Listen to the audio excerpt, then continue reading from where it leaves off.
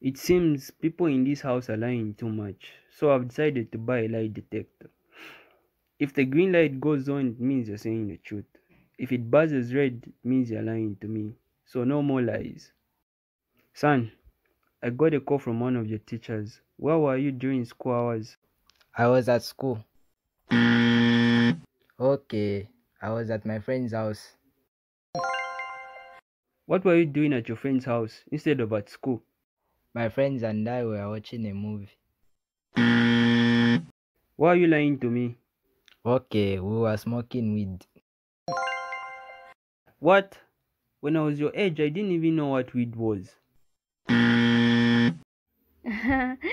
Is your son after all?